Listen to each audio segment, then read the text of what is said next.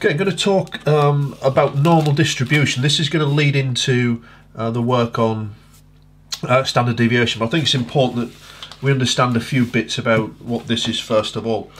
Um, what's known as a normal distribution, this is really a mathematical term, normal. Um, it, it doesn't mean normal in the everyday sense of the word, meaning not abnormal, not weird. It doesn't, doesn't mean that at all.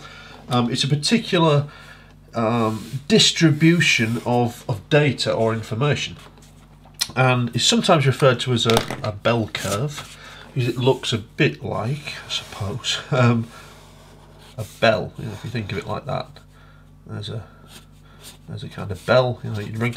Uh, it's got that kind of shape. Now, in fact, it has a specific um, mathematical, specific mathematical properties about it. Now, most of the times we're going to come across it in, in biology, um, we are going to assume that when we collect some data, we, we, we very often assume it has a normal distribution. So what does that mean? Um, you know, let's say we took, um, they often use the example in the books about leaves off trees. So if we pulled all the leaves off a tree and we measured, um, you know, their length, some are going to be pretty small, some are going to be somewhere in the middle, some are going to be bigger. And if you added up the frequency of all these things, um, you know, you'd have some small leaves, you'd have some very big leaves, and most would be somewhere in the middle. And we'd get this this normal distribution. Okay, in other words, what it's saying is most things are in, around the uh, uh, uh sort of average. Uh, some things are at the extremes on either end. Um, that's basically the idea around it, and it doesn't always necessarily strictly apply in, in biological systems, but they, they will usually say something to you like, assume that this is a normal distribution. Um, so that, that's what we're going to work with. The assumptions that are made, or the, the things that we can say about normal distribution, um, mean, mode, and median values are all the same. Okay, normally we, we don't really come across mode and median too much um, in biology, but the mean value, remember to use this term mean rather than saying average, because all of these are averages and they all mean something different.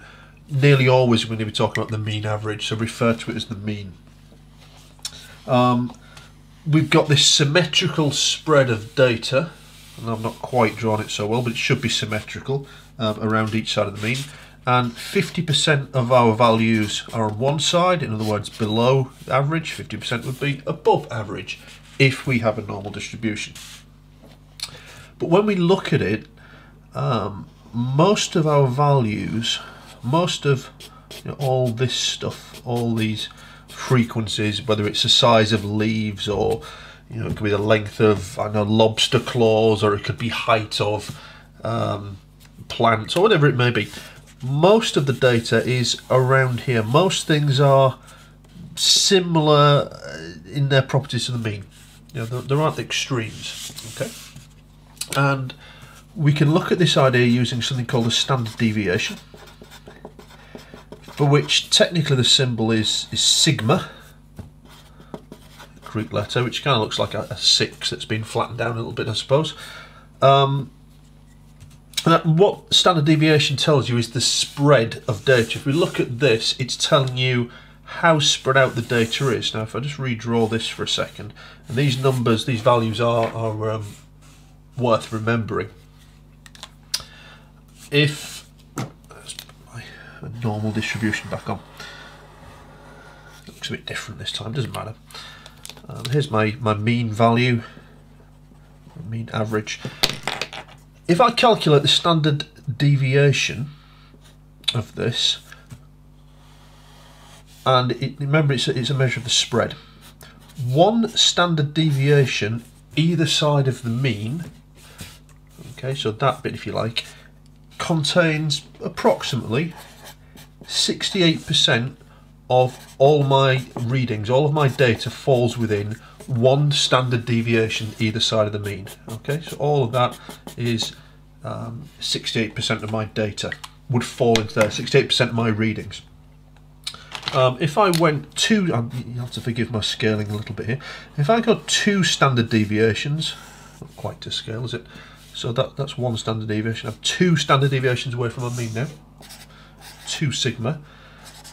It's pretty much 95% of all of my data falls within two standard deviations either side of the mean average. Okay, now this becomes pretty useful because what this is saying is if I get a number that's more than two standard deviations away from my mean average, it's a pretty extreme example of something. If you like in GCSE terms, what we might start saying is things like um, you know, GCSE you started talking about things being outliers, data that didn't fit the pattern. Um, and that's really what this is showing you. It's saying um, by measuring the standard deviation on a normal distribution of data, we get an idea of are our results sort of where we you know where we'd expect them to be, or are they a long way away from where we'd expect it to be? In which case, something interesting might be happening. So that's all standard deviation is a measure of how spread out your data is compared to your mean average. And we'll take this on in the next um, idea and look at this um, way to calculate standard deviation.